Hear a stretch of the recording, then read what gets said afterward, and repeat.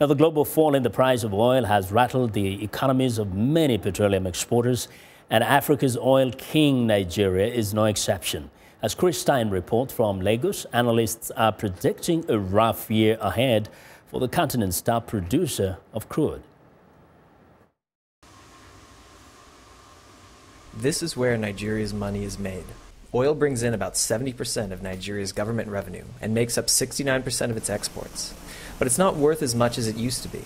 In years past, oil hovered around $100 per barrel, but the price has since dropped to $35 per barrel. That decrease in price has analysts worried. Impact of the fall in oil price is, to put it mildly, um, catastrophic uh, in the sense that the in terms of magnitude, huge. In terms of preparedness to deal with the magnitude, totally ill prepared.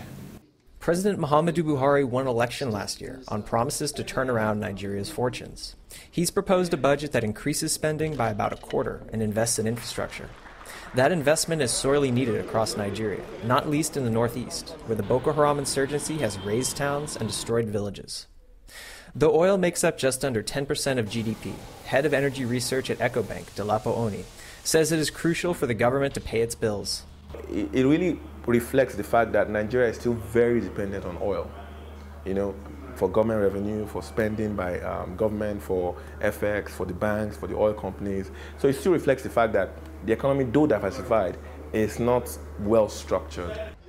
Economists are already predicting a slowdown in economic growth. The government has resisted calls to allow the naira to devalue, even though it's lost about 50% of its value on the black market.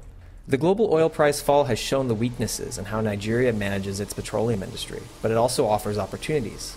Oni says the government has started making reforms to its fuel subsidy regime and to the state run oil company, both of which have been accused of waste and mismanagement by analysts and civil society. Chris Stein for VOA News, Lagos.